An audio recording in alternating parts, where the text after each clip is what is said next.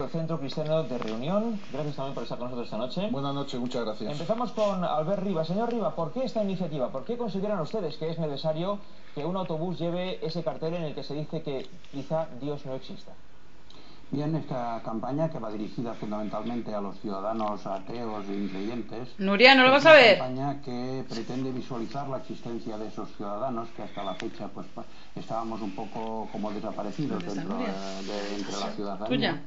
Y eh, esta parte de la campaña pues se está cumpliendo. Ven a verlo. Y por otro lado, otro aspecto importante de la campaña era Pues ala, vete a tu impulsar cama. un debate social sobre la existencia del ateísmo, sobre la necesidad de que los ateos eh, sean eh, ciudadanos reconocidos, etcétera, ¿no? Y eso también se está consiguiendo, eh, por lo tanto, contentos. ¿Consideran necesario hacer una labor de proselitismo ateo?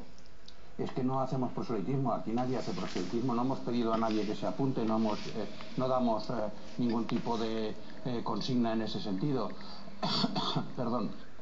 Lo único que hacemos nosotros es decir a la gente que está en nuestras posiciones que esas amenazas que veladamente incluyen algunas religiones o muchas religiones, pues que mm, pasen de ellas, que se relajen, que vivan tranquilamente su vida.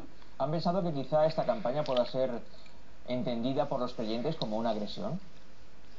Hombre, pues eh, la verdad es que no es nada agresiva. O sea, que primero que no va dirigida a ellos, por lo tanto no tendría sentido. Pero es que además no es agresiva, ni, ni, ni entendemos cómo se puede entender como una agresión.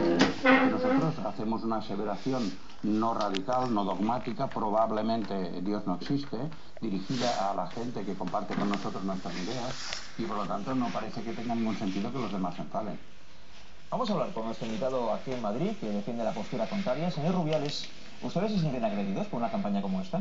Por los ateos, en ningún caso. ¿Por Nos- la campaña? Por la campaña, en ningún caso. Nosotros estamos celebrando la fiesta de la democracia y la oportunidad que tenemos de poder participar en este debate público desde la tolerancia y desde el respeto y por lo tanto haciendo uso de los ejercici- del ejercicio de los derechos fundamentales de la libertad de expresión. Por lo tanto, no nos sentimos agredidos en ningún caso. Pero ¿por qué cuando alguien defiende una postura ustedes consideran que deben salir al foro público a defender la contraria?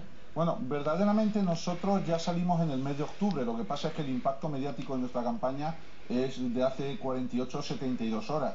Nuestro autobús ya estaba circulando el 24 de diciembre, pero a través de YouTube nosotros ya comenzamos nuestra campaña en el mes de octubre, no como respuesta a la campaña Atea de Londres, sino que simplemente abrimos los ojos ante una realidad de un mundo que cada vez niega más a Dios y nosotros a ese mismo mundo le queremos decir que Dios existe y que la vida más plena es la vida en Jesucristo. ¿No consideran que los ateos también tienen derecho a presentar su postura Por supuesto, públicamente? por supuesto lo celebramos como un debate y queremos participar en ese debate. Señor Riva, ¿por qué anuncios precisamente en autobuses y no de otra manera cualquiera de anunciarse, como, no sé, carteles por las calles o anuncios televisivos, por ejemplo? Bueno, esto nace, como todo el mundo sabe, en Londres con una campaña muy agresiva de una entidad evangélica que en su página web venía a decir que los ateos seríamos condenados al fuego eterno y a la tortura del infierno. Y entonces, bueno, eso generó esta campaña de, de decir, bueno, los ateos eh, no hagamos caso de esa realidad porque probablemente Dios no existe y disfrutemos de la vida. Por aquí nace toda la historia y por lo tanto no parece que la cosa tenga más complicación. Mm, ¿Prevén que esta campaña se extienda por muchas más ciudades? En Barcelona eh, está, aparece en marcha, también se habla de la posibilidad de que en Madrid, en Valencia, ¿quieren extenderla a muchas ciudades aquí en España?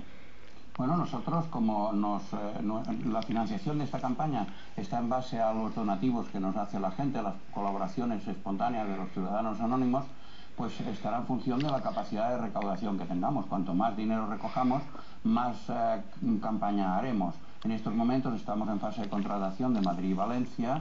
Muy probablemente tendremos Castellón eh, en fase de contratación enseguida. Eh, Alicante se está estudiando las posibilidades y luego abriremos la negociación en Sevilla, en Zaragoza, en Bilbao, etcétera, en varios sitios. ¿Y ustedes, señor Rubiales, también pretenden ampliar su campaña a otras ciudades? No, para nada. Nosotros hemos conseguido lo que queríamos, que es que nuestro único mensaje en un solo autobús se difunda como el milagro de la multiplicación de los panes y los peces a nivel internacional. Y hemos conseguido lo que queremos. Nos parece desde todo el respeto un poco absurdo poner 800 autobuses en la calle con el mismo lema cuando lo que se persigue es que un solo lema de un solo autobús se difunda como se está difundiendo. Tengo noticias de que nuestro autobús ya ha llegado a todos los rincones del mundo. Coincidirá conmigo de todas maneras en que resulta muy llamativo esto de que sea precisamente en autobuses, ¿no? bueno, nosotros simplemente lo que hemos hecho ha sido igualar fuerzas y utilizar el mismo soporte que en su día se utilizó en Londres. Eh, porque nuestra campaña eh, se comenzó mucho antes de que tuviéramos conocimiento de que en España se iba a prorrogar ese tentáculo de Londres, ¿no? Entonces, bueno, pues eh, Francisco Rubiales, gracias por estar con nosotros esta noche. Muchas gracias. Albert Riva, gracias también por acompañarnos y por dejar su opinión aquí en la noche de 24 horas. Buenas noches. Gracias, Vicente. Buenas noches. Bueno, vamos a tener ocasión